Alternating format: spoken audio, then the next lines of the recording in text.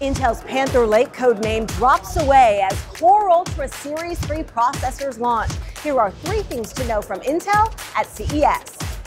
Intel Core Ultra 3, the most important AI PC platform yet for the company, goes on sale January 27th.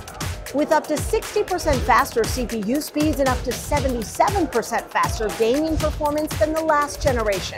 The top of the line X9 and X7 SKUs come packed with integrated ARC graphics with 12 Xe cores, and they're made in America with the most advanced node on US soil, Intel 18A.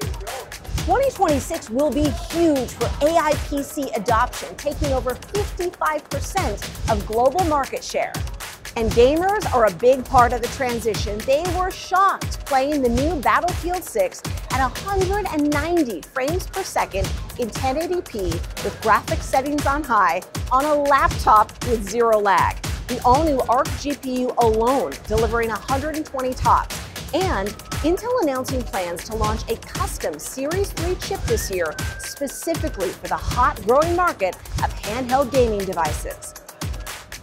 Finally, it's the first time Intel's Edge certified processors are debuting alongside their laptop counterparts.